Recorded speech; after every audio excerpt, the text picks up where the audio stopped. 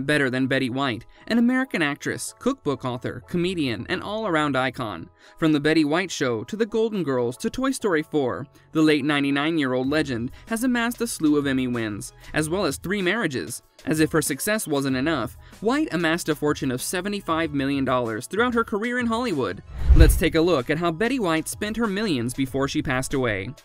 Number 5. Betty White a trailblazer and pioneer in media, Betty had the longest running career for any woman in TV before her death, starring in multiple shows over the past eight decades, starting way back in 1939.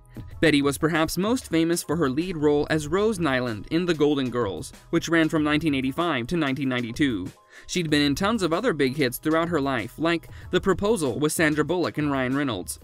Betty got her start in radio in the 40s, making appearances on Blondie, The Great Gildersleeve, and This Is Your FBI. She eventually got her radio program. In 1949, she began working on a TV variety show with Al Jarvis called Hollywood on Television, which she later co hosted before breaking out into more TV roles. Her breakout comedic role came in 1973 when she played Sue Ann Nivens on The Mary Tyler Moore Show, which ran until 1977. She got her starring role in The Betty White Show. Betty won five Primetime Emmy Awards, including two for Mary Tyler Moore, one for Golden Girls, and one for her 1975 SNL appearance, along with the Screen Actors Guild Awards, American Comedy Awards, and even a 2012 Grammy. She's been nominated for several Golden Globes and has also been honored with many Lifetime Achievement Awards and celebrations through several organizations. Betty White was a lively person, and it showed how she spent her money too before she passed away. Not a few days before the announcement of her passing, Betty had just made headlines when she told people, I've heard Ryan Reynolds can't get over his thing for me. They co starred in the 2009 movie The Proposal, as mentioned before. Ryan jokingly responded on Twitter, I'm absolutely sick of the media exploiting past relationships just to drive clicks.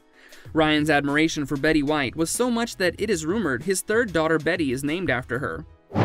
Number 4. Last Days White, who passed away on 11 January, lived in a five bedroom, six bathroom Brentwood home in West Los Angeles.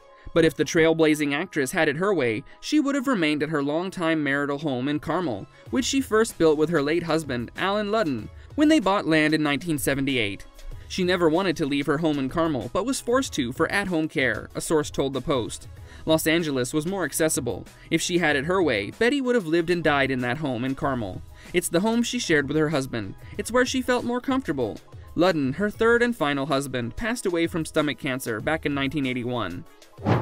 Number 3. Vodka and Hot Dogs While White had the budget to be dining on champagne and oysters, she made it clear that her tastes are actually quite simple. In a 2020 interview with Closer Weekly, the actress opened up about her daily life and health in light of the COVID 19 pandemic. According to the interview, White loved nothing more than classic American snack foods. When she's at home, the Golden Girl alum likes to enjoy her favorite snack hot dogs and french fries, and sip on a vodka martini in her living room. If Betty were not purchasing pricey bites, the rest of her meals would be less expensive. The actress went so far as to reveal to the outlet that she enjoys canned foods. Sometimes she even goes to the kitchen to whip up a grilled cheese sandwich, and Betty will accompany that with a nice can of tomato soup, the outlet published. Number 2. California Dreaming if Betty's diet weren't burning through her bank account of millions, her house would definitely be doing the trick. In her Kinetic Content TV special titled Betty's Happy Hour, White gave fans a tour of her California mansion, and the results were spectacular. In a one minute video posted to Kinetic Content TV's official YouTube channel in August 2017, the actress parodies the MTV show Cribs and shows off her home to viewers. I'm Betty White. Welcome to my crib, says the actress, smiling. While the actress clearly intended to be comical, she shows off some beautiful parts of her house. Her kitchen is gorgeous, with a fridge that blends seamlessly into the cabinetry and granite countertops. White also boasts two large stainless steel ovens stacked one above the other. Number 1. Splashing Around The kitchen in White's California house isn't the only attraction. In another segment from Betty's Happy Hour, fittingly named Betty White Has No Shortage of Pool Boys, the actress also had a magnificent outside deck and pool area, which she also featured in. Her deck complements the deep blue water of her huge pool, as shown in the video. A hot tub and a warm waterfall are located next to the pool. While White was notoriously open with the public about her intimate relationships and other romantic interests, the Golden Girl kept her spending habits to herself, leaving fans to wonder how exactly the celebrity chose to spend her fortune. Well, this brings us to the end of our video. Hope you guys enjoyed it. Hit like if you did, and make sure you subscribe to the channel and hit the bell icon so that you don't miss out on any of our upcoming videos. We will see you soon in another video. Until then, take care and goodbye!